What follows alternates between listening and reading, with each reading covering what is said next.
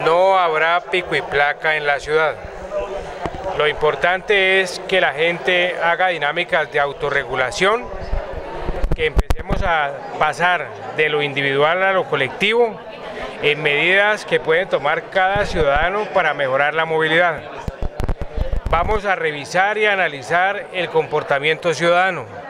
Vamos a verificar que los indicadores mejoren y en la medida en que esto suceda y veamos que no hay una dificultad mayor en la movilidad de la ciudad, teniendo en cuenta las obras nuevas que se van a hacer, no habrá necesidad de imponer la medida del pico y placa. Sin embargo, si no logramos que la gente haga cultura de autorregulación, que la cordialidad y la cooperación entre los ciudadanos mejore, que tengamos unos indicadores de carros mal parqueados menores cada día, si vemos que la cotidianidad de la gente se va a afectar porque no somos capaces como sociedad de autorregularnos e inician las nuevas obras, nos veremos en la necesidad de imponer la medida. Tenemos un tiempo que no hemos definido cuál puede ser para que nos demostremos como comunidad que somos capaces de vivir, de generar dinámicas de convivencia sin que existan medidas restrictivas.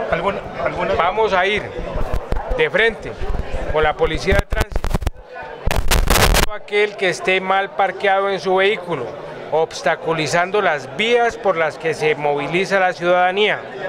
Esa es la premisa de lo que vamos a actuar, soltándole a la comunidad, a cada ciudadano, que ejerza desde su individualidad la capacidad de autorregularse. Hay unas medidas precisamente que usted recomienda para que la gente acoja y es, por ejemplo, compartir el vehículo. Háblanos de ese tema de solidaridad, de convivencia. Mire, hay una, una experiencia muy bonita en una universidad de Bogotá.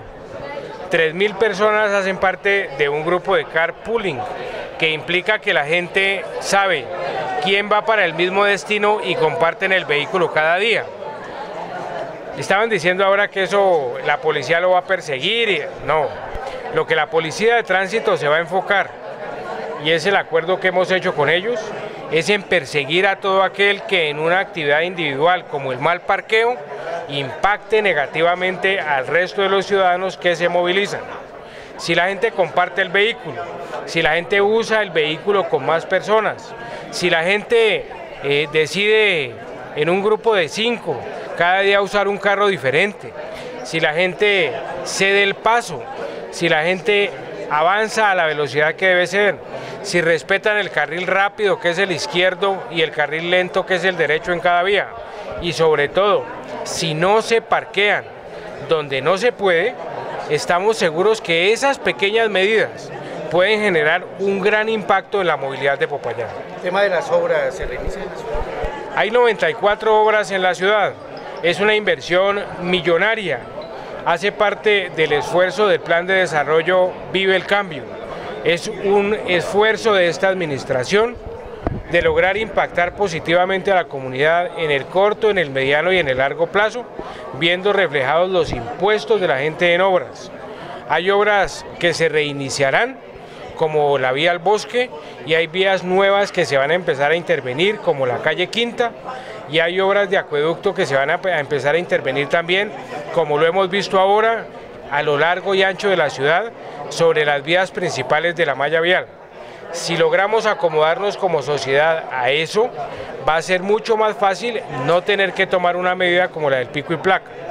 Hago la invitación a los ciudadanos, a los medios de comunicación, a los gremios de la ciudad, a que constituyan veedurías ciudadanas para que cada una de esas obras se ejecute en el plazo contractual, haciendo que la incomodidad que va a tener la ciudad sea lo más temporal posible. La medida menos restrictiva que hemos considerado hasta ahora es de, de 7 de la mañana a 8 de la noche, con cuatro dígitos por día, lo que implicaría dos días a la semana. Pero esperamos no tener que llegar allá. Estamos seguros y personalmente estoy convencido de que esta es una ciudadanía que puede avanzar en el proceso de cultura ciudadana con educación, con solidaridad y sobre todo entendiendo que vivimos todos en la ciudad y no cada uno individualmente.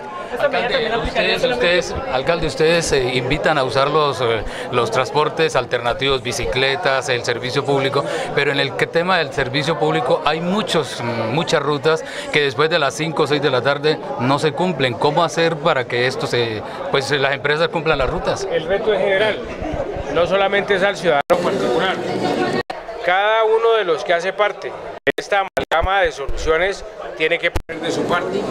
No solamente es un llamado al conductor de carro particular, también es a los empresarios, a los propietarios de los vehículos y a los conductores de los vehículos de servicio público, que ellos tengan sus vehículos en buen estado, que ellos hagan las rutas completas. Si es necesario, que es una reunión que tenemos pendiente entre el secretario y los gremios de transporte, modificar algunas rutas por las obras que se van a hacer, tenemos que considerarlo para poder abastecer de servicio a la ciudadanía y que se pueda movilizar por rutas diferentes a la actual, porque las obras que se van a realizar pueden incomodar las rutas, las rutas que hoy en día están definidas. El plazo sería un mes para implementar el pico y placa. Es el plazo que nos hemos dado para hacer la primera medición, no necesariamente para tomar una decisión. En un mes verificaremos cuál ha sido el impacto del compromiso ciudadano en la movilidad de la ciudad. Y una vez tengamos eso verificado, podremos tomar alguna decisión que formalmente le haremos conocer a la ciudadanía. Mientras tanto, la invitación a la prudencia, a tener certeza de la información que circula, a buscar la fuente para evitar discusiones que afectan la armonía de la ciudadanía sin necesidad.